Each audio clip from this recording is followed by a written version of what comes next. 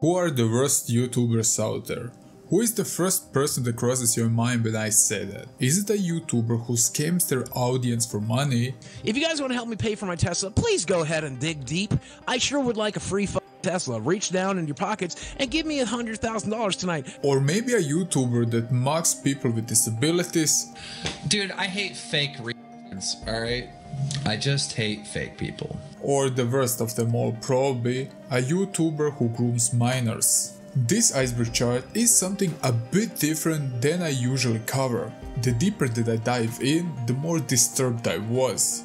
This video will cover, like the title says, the worst YouTubers out there, but not only them, but the most evils and sinister channels also. I will try to do my best to explain every entry and why are they on the list. I also need to state that the first layer is a bit lighter than the rest, so it takes some time that the iceberg chart really shows its charms. But the most important thing is, I thank you so much for tuning in and let's start this video. Enjoy the video.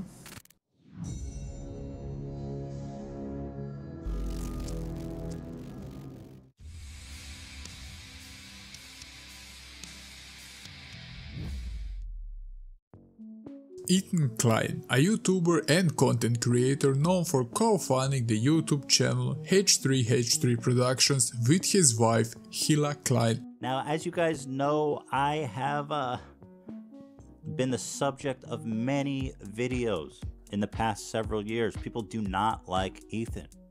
The channel gained popularity for its reaction videos, satirical content and commentary on the internet culture. As a 6'5 black dude scare you more than a 6'5 white dude? No. Is it supposed to? How do I get out of this? One of the H3H3 most famous videos is without any doubt Vape Nation, our satirical take on vaping culture. The couple also hosts the H3 podcast, a long form interview podcast covering internet trends and featuring notable personalities. Good, but why is he on the list? Ethan is a hypocrite. He is greedy. Uh, this is very bad. Well, shall we start with the beef with PewDiePie let's say. Ethan made a hypocritical statement where he threw PewDiePie under the bus for racism scandals, even if just few months before that, Ethan himself repeatedly said homophobic and racist slurs during his podcast with iDubbbz. He H3's a hypocrite Oh, because look- he said that one is Oh. tasteless. That one is uh, is not good. That's not a good take. I mean, why would you call somebody out when you're also guilty of doing such things? It doesn't make any sense. You can't take me down. Well, I've already said the N word live. let's not invite You, you can't touch me. Also funny thing is when YouTube released tools to allow advertisers to avoid offensive videos, Ethan claimed that these tools were overly broad and negatively affecting unrelated content including his channel. Uh, this is very bad. But if you're following the guidelines, I mean there is no fear from YouTube, am I right? He said I don't think I'm a hypocrite. Currently, he is not making any videos on his main channel, just making podcasts with various hosts. He was criticized because he didn't want to focus on high effort videos on his main channel, but rather pump low effort videos in the form of a podcast. He stopped making H3 videos because I'm like the worst person that has ever lived. And that's also the point where we saw Ethan, who was actually a carefree individual, starting to go bitter mostly because of the comments he got over the years.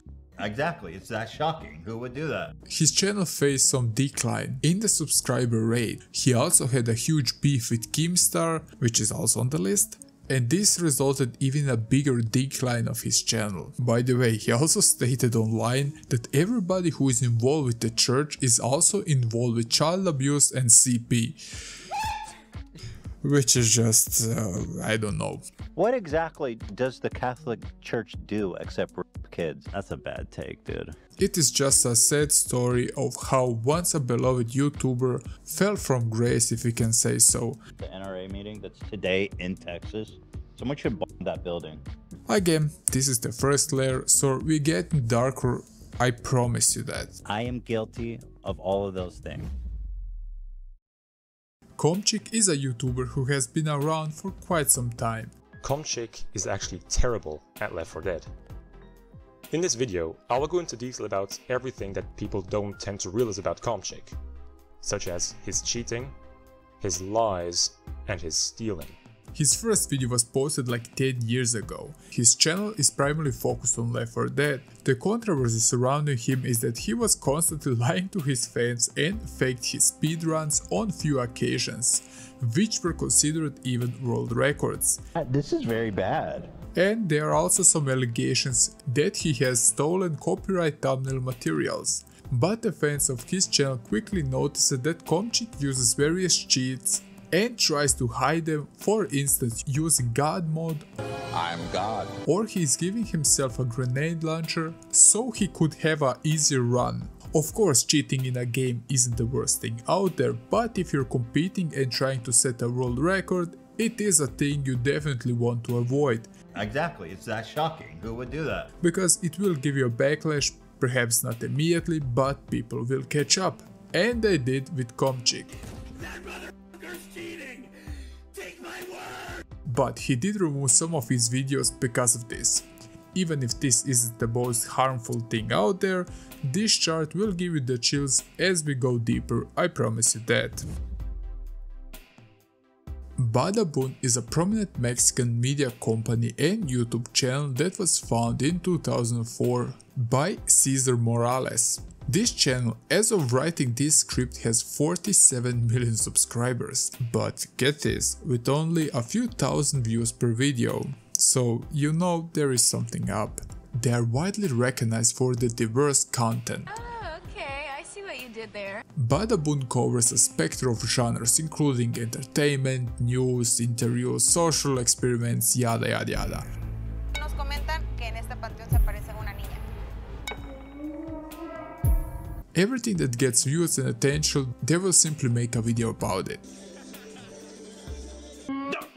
The channel has gained immense popularity, particularly among Spanish-speaking audience. Ah, sí, ya vi. One of the Badabun's notable series is Exposing Cheaters. How ironic. To no surprise, Badabun has received a lot of criticism because their content has been described as, well, we can say fake, and Badabun employees have come forward with allegations of workplace harassment, sexual harassment, and homophobia within the company. Also, a very clever move of this channel was in 2020 where they staged a fake death as a prank involving one of its hosts. And fake death pranks are the last thing you want to pull off on your channel. Like, you know that guy from the last show? Yeah, he's dead, hit by a car. And then like 10 seconds later, nah man, just a joke. Yes. Very sad. Anyway. I mean, that's borderline morbid. This stunt was meant to be a dramatic revelation of a fake murder. They received widespread criticism for crossing ethical boundaries. Many viewers found the prank to be poor taste. That's a bad take, dude. Ah, and there are also a few times that Badabun was accused of plagiarism and copying content from other creators without proper credit. These allegations have fueled tensions with the YouTube community and led to dispute over originality and intellectual property. Also in 2017, Badabun posted a now very infamous video called basically seen on the screen which is a 5 minute Super Mario speedrun, in which they claim they had completed Super Mario Bros. in 5 minutes, which was later obviously debunked as fake. Shotgun Raids is an English gaming YouTuber who currently makes Minecraft videos. He's mainly known for making videos of himself playing many Hypixel minigames including Skywars and Bed Wars. He's also known for trolling Twitch streamers who stream themselves as hacking. Obviously, I banned him. Let's see what he says. Yeah, but the admin that Shotgun Raids was also exposed for faking his most popular miniseries about him catching a player on his server hacking. Oh no. Oh no. Along with this, there have been a few YouTubers who called him out for stealing their ideas. The things that I found about him is that he's using extremely clickbaity thumbnails and overall combined with misleading content. Also he caused a lot of drama with a, a smaller YouTuber named Tenebros. He made a huge video exposing him, telling stories and showing direct messages with him and other stuff, which Shotgun Raids obviously didn't like. But like I said, this is only first layer, but besides the drama I didn't find anything dark here, so let's move to Leafy like x-ray that's so evil when there's like kids in africa that are literally you know starving and then he's like yup just go after the x-ray like what say say what LeafyIsHere, or simply Leafy, is American internet personality best known for his now terminated YouTube channel. Or I might just kill myself.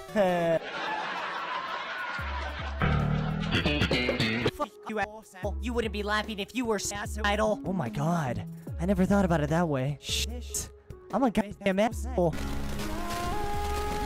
Which contained reaction, drama and gaming videos with commentary. Oh my god, who is this guy? What is he f***ing handicapped? Although he started his YouTube channel in 2013, he gained popularity 3 years later when he started criticizing smaller creators for their appearance and his content went viral. One of the major reasons why fans flock to him, nonchalant, no-hold bars criticism of a god YouTuber named Mr. Black Darkness 666, the most metal name out there I think. But let's take a even closer look why Leaf is on the list. When you could kill us with a sharp object, come on.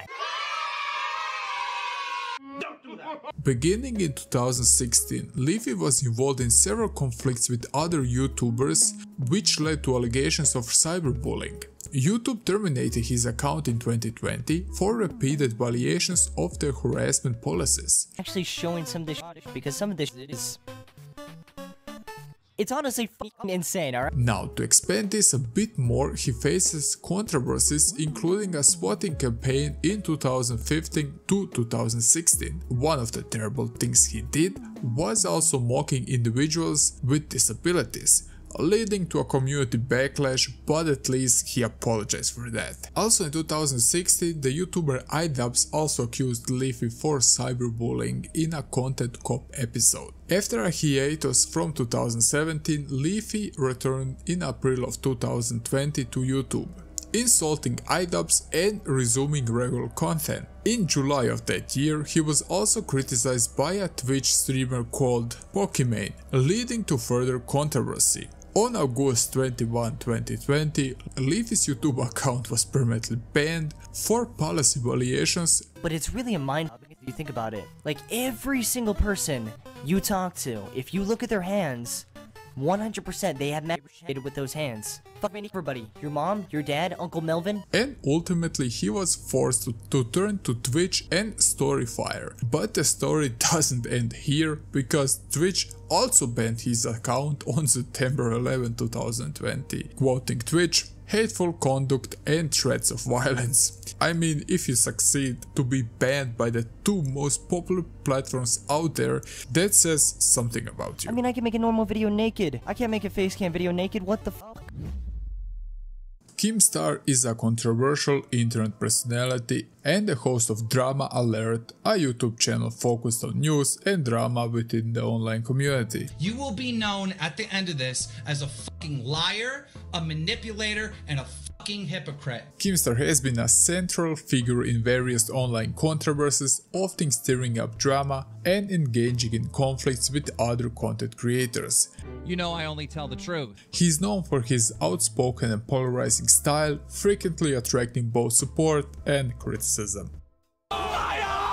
Besides using racial slurs, he tweeted that he can't wait to tweet about Total Biscuit's death because he had cancer. Ugh, yeah, well. To. Now I want to be like, hmm, can't wait to report your death.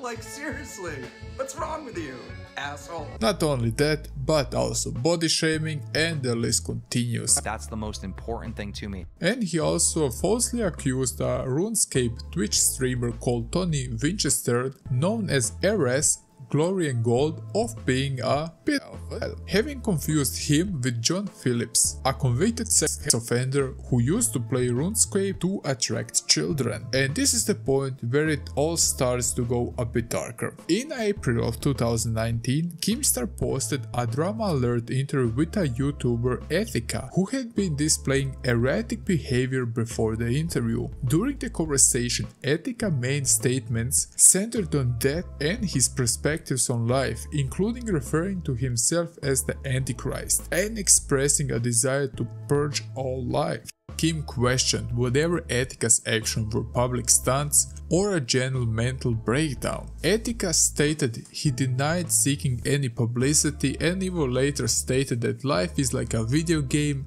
and death means nothing. Keem raised some questions if life is just a simulation. This is a straight scam! Then why live? And two months later, Etika posted a video resembling a suicide note titled I'm sorry, mentioning Keem among others. Etika's body was discovered in a river and the medical examiner determined drowning as the cause of death. Keem faced criticism being held accountable for Etika's death, but he argued that Etika seemed fine privately and doctors deemed he stable. Kim shared texts from Etika's mother absolving him of blame and expressing love for him and his show. And also in May of 2020, YouTuber Ethan Klein of H3H3 released an exposed video of Keemstar alleging that he exploited Etika. I don't care if the internet is picking on me. I don't care if the internet hates me.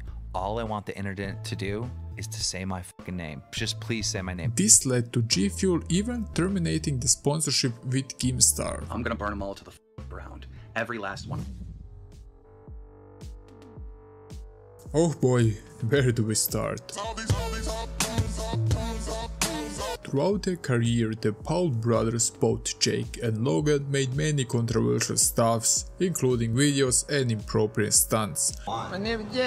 Jake and Logan Paul are quite known YouTubers and internet personalities. Logan, the older brother, initially gained recognition for his Vine videos leading to a YouTube career. Jake, inspired by Logan, also rose to prominence on Vine and transitioned to YouTube. Both become known for their controversial content, pranks and vlogs. I will give you a few examples just to get idea if you somehow don't know about the Paul brothers. Logan Paul in 2017 made a video about the Aokigahara forest, where Logan faced intense backlash for uploading a video showing a victim in the forest. That one is Oh. tasteless. That one is is not good. That's not a good take.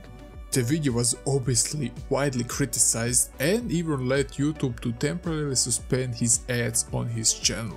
But in 2017 happened something quite disturbing. For whatever reason, Logan decided to use a taser on dead rats resulting in further criticism for his inappropriate and disrespectful behavior. Good, let's take a look at his brother, Jake. Jake had a team called Jake's Team 10, a social media incubator and talent management company, which faced internal controversies including public disputes and departures of team members. Also they got some neighbor complaints in 2017, which also resulted in some tensions with the local authorities. And let's mention the infamous FBI raid in 2020. Jake's home was raided by the FBI in a connection with an ongoing investigation. Although specific details about the investigation were not immediately disclosed, it is important to note that both brothers have been involved in numerous controversies over the years. So,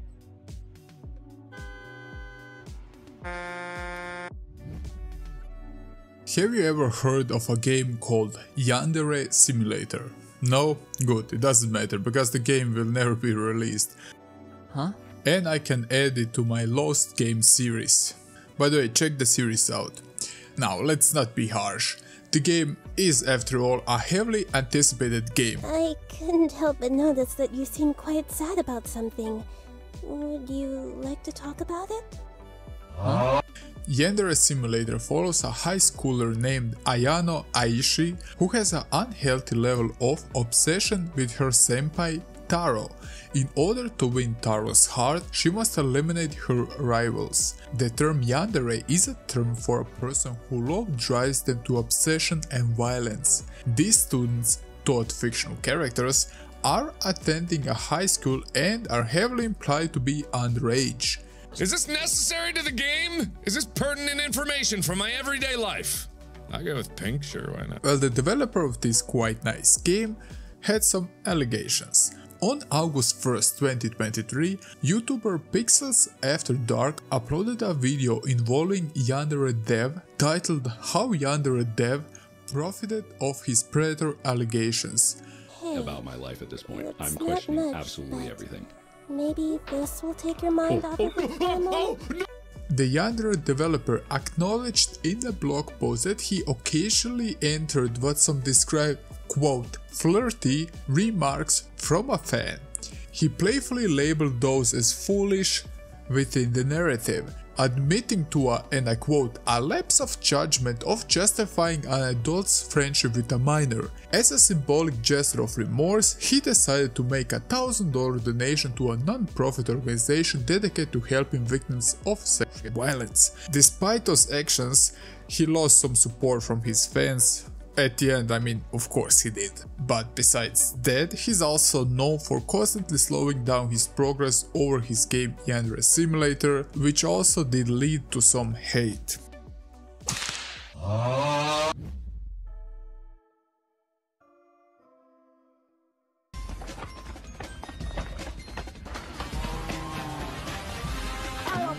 Nikocado Avocado, aka Nicholas Perry, began his journey on YouTube as a skinny vegan with a weight between 150 and 160 pounds. If it wasn't water weight, could I do this? Until now, he's doubled his weight and he's almost a cyborg because of all the machinery he needs to stay alive. I'm finna whip this. Mukbang videos are videos where you would just watch an individual eat themselves until they are sick. Because of this, he has also many health issues, which is no wonder. I look like a blueberry. I look like a blueberry. He's also releasing videos on daily basis. Until this point, Nikocado had many controversies and a lot of people despise him for unnecessary disgusting videos where he would physically and verbally abuse now his ex-husband.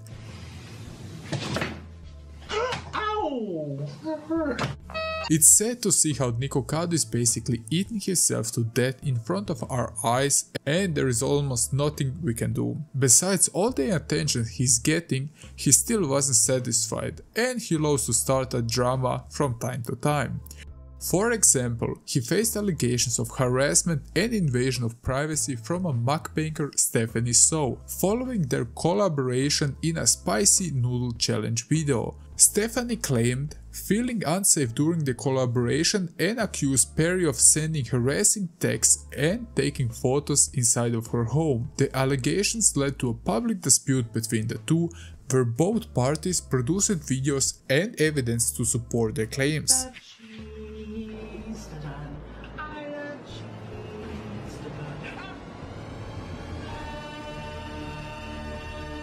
These controversies obviously sparked a significant response from the viewers. Many people think he has also some mental issues because of this, Oh, oh, oh, oh.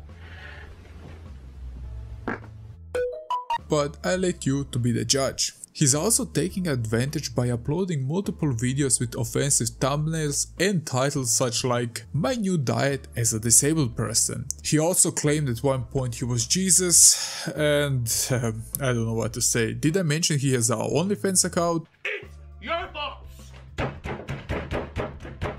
Yep. And he also stated he will sue everyone who would leak his photos from the page. And yeah, this is Nikocado in a nutshell. It's different, okay? I'm actual. I'm actually a person strategizing what I do.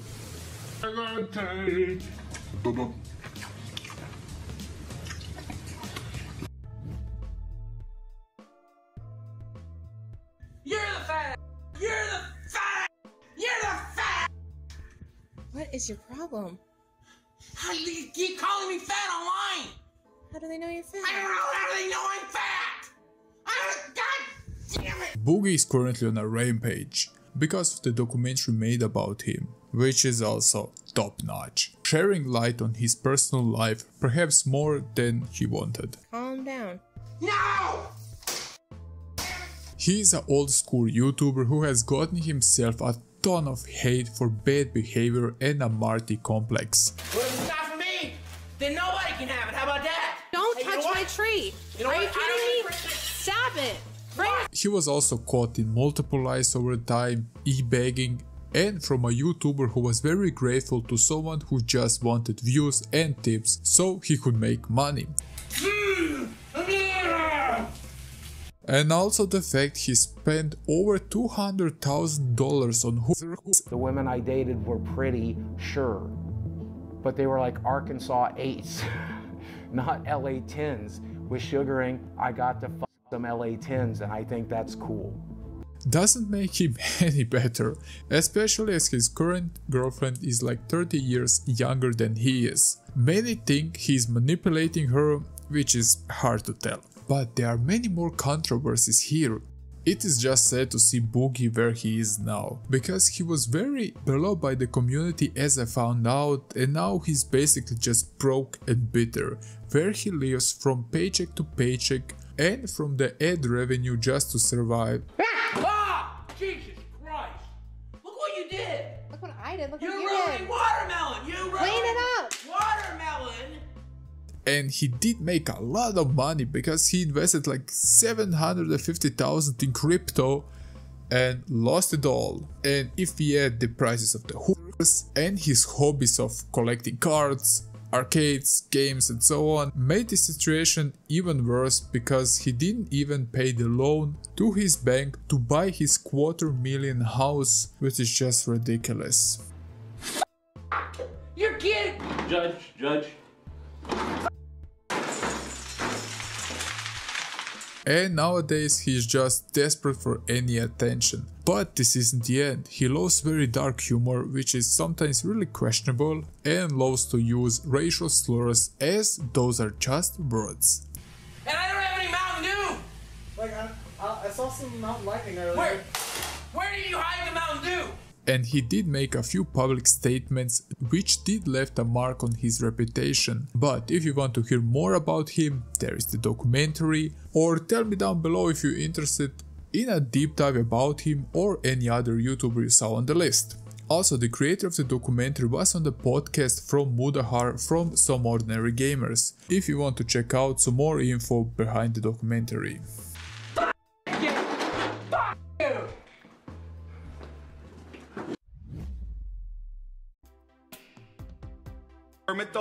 The Frog drink the gay potion. I'm a fag nigga. You didn't have to This YouTuber is simply all about the controversy. He embraced the whole aspect of that. He made a popular series in which he would trespass in various locations for 24 hours, like schools, local shops, and the mall. Because of that, he was also one time arrested by the securities in the mall. After his arrest, he was fined with $50,000 for his clever action. Also, that's just a great message to send to your audience to break into shops. Kermit the Frog. He normally is super scared to do 3 a.m. challenges, but I convinced him to do it for you guys. Not only that, but also YouTube demonetized his channel. But is this the end? Oh, we are getting just started. He also started like a 3am type of a series, in which he was obviously taking advantage of younger audience, with its content and thumbnails. Died. What the heck, guys? This is honestly messed up.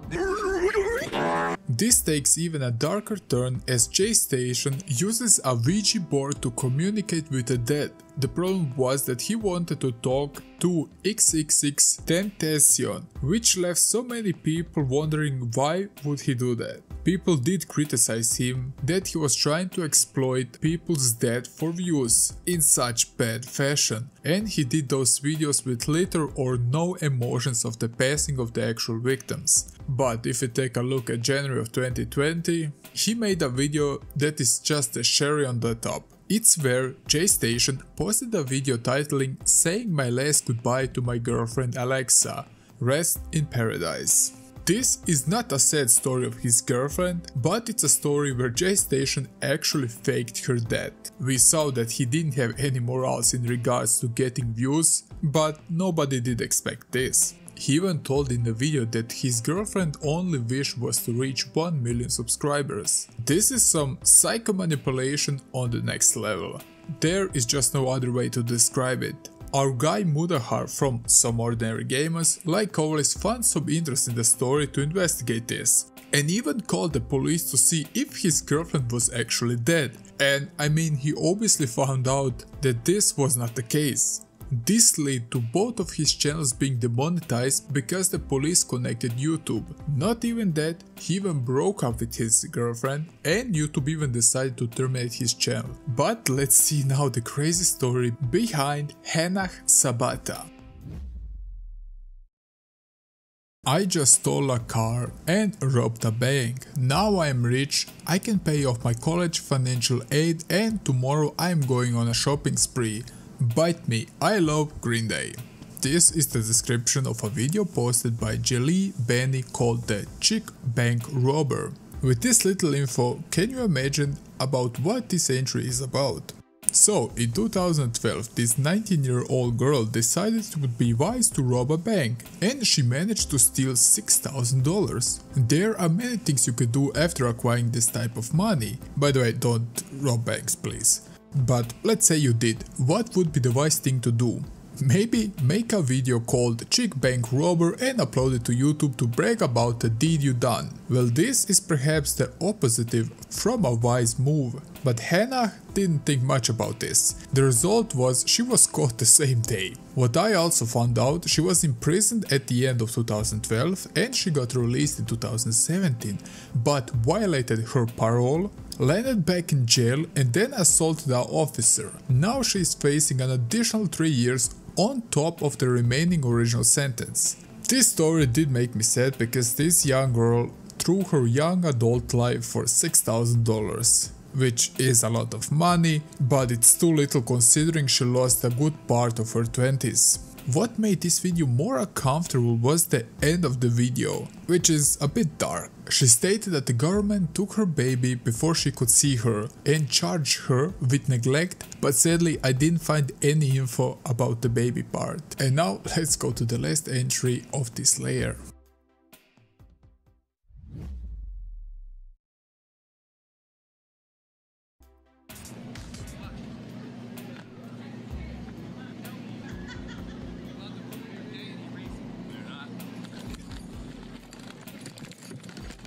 Charles Ross, known as the Ross Creations on YouTube, had made a name from himself with prank videos and gaining about 2 million followers across his channels, Vlog Creations and Ross Creations. His stunts were classic stunts you would often see involving unsuspecting people, which even led to 6 arrests in Florida because Ross impersonated a police officer, which is a very smart thing to do. He wanted even to write a parking ticket to a woman at a parking lot. She saw something was wrong and she was concerned for the safety of her two children. Because he did have a baton on his belt. She then started to raise her voice until Charles basically said it was praying and offered tickets for a concert, but in the end she called the authorities. Despite multiple arrests, Ross has never been convicted, facing only fines and community service.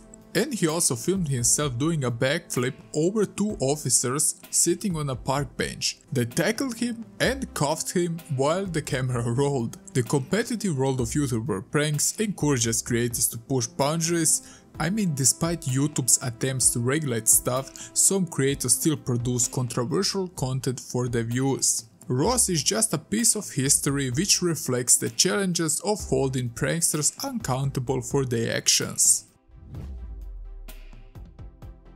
This is another huge rabbit hole that deserves a separate video, but I will try to give you a good idea about this. Some channels abuse copyright laws and try to take down videos or channels they simply don't like. Some of them are like NS Patrol and Keemstar, but there are many more of course. People would even claim they are working on behalf of other companies, I mean it's like in the Wild West. Some YouTubers just see a video they don't like because it's mostly about them and then they are making a copyright claim. And if your channel is getting too many strikes, you can even get a red card and say bye bye to your channel. Wild stuff, I know. But I think this video is long enough and I hope you enjoyed this week's video. This was quite a fun ride and I can't wait to show you the rest of the chart. Like always, if you find this video interesting, please leave a like, consider subscribing to the channel to see more content like this. There are many more other iceberg charts on my channel if you want to check them out. And that's all from me now. I thank you for the support lately and I see you in the next one. Bye.